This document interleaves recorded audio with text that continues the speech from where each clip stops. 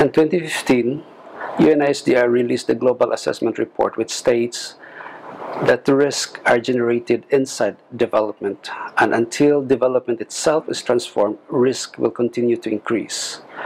SEI took on this challenge and developed the initiative known as Transforming Development and Disaster Risk. TDDR seeks to transform the way traditional DRR is being undertaken, which is largely focused on emergency and humanitarian interventions, to one that addresses the root cause of disasters. TDDR seeks also to maximize the opportunities of development. TDDR works at various scales at the local, regional, national, community, and village levels. For example, TDDR is now testing out approaches on how to integrate the Sendai framework with the Sustainable Development Goals. So trade-off is a situation in a decision-making process where there's two desired goals which conflict.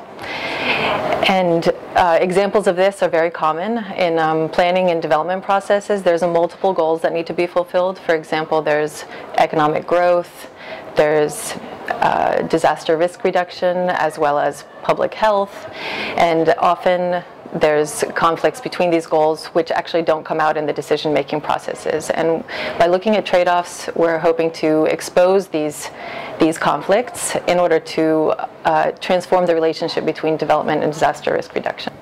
Based on our literature review, we developed a, a trade off framework with five dimensions. The first one is aggregation, which looks at the gains and losses in the decision making processes, um, equity, the dimension of equity looks at how those gains and losses are distributed. Risk looks at how risks are prioritized in the decision-making processes. Temporal or time looks at how short and long-term impacts short versus long-term impacts and participation looks at who is involved in the decision-making processes and how power is distributed. So increasingly we find that resilience is used as a framing concept for both development and disaster risk reduction and actually it's used to try and link those two fields of development policy and practice. Um, but at the same time resilience has been criticised for, for some time for its failure to engage with issues of equity and social justice and this is really where our work comes in. So we've undertaken an extensive review of the existing literature and uh, new field work to explore the concept of equitable resilience. And our notion of equitable resilience is a form of res resilience practice that drives towards more equitable outcomes for the communities affected by those interventions.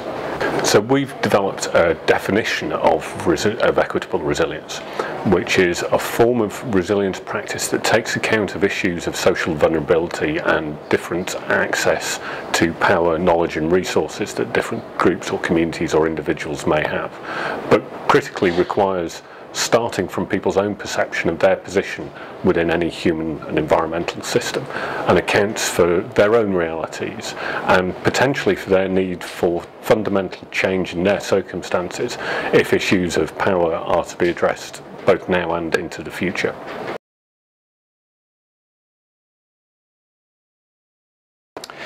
These three approaches explore opportunities for transforming the relationship between development and disaster risk. The first approach is around trade-offs, so that focuses on uh, decision makers, for example, urban planners, and uh, makes visible the potential risks that uh, planning decisions can cause for certain individuals or groups of individuals now or in the future. The second approach is around equity and social justice and is aimed at um, resilience building interventions that are conducted by community-based organizations um, or social movements that um, support resilience building interventions in communities at risk. And the third one focuses on the role of adaptive governance in enabling more meaningful participation, um, accountability and transparency in decision making, and also innovation, innovations in institutions and uh, policy processes. So All three of these approaches together provide a range of opportunities um, for different actors working uh, in different sectors and at different scales to um, transform this relationship in order to create more equitable and sustainable and resilient communities. TDDR is currently testing these frameworks across Asia through case studies. One case study in Tacloban, Philippines is looking at the recovery process following Typhoon Haiyan, which occurred in 2013. Our analysis of the city's recovery plan has revealed key trade-offs in the planning process in terms of equity, participation, and gains and losses. We've also explored the degree to which resilience building efforts have been equitable following the typhoon.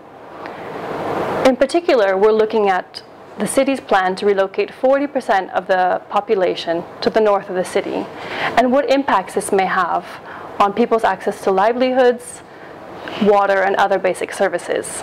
We will continue to test and refine the TDDR frameworks going forward in order to support decision makers and communities in transforming the relationship between development and disaster risk across the region.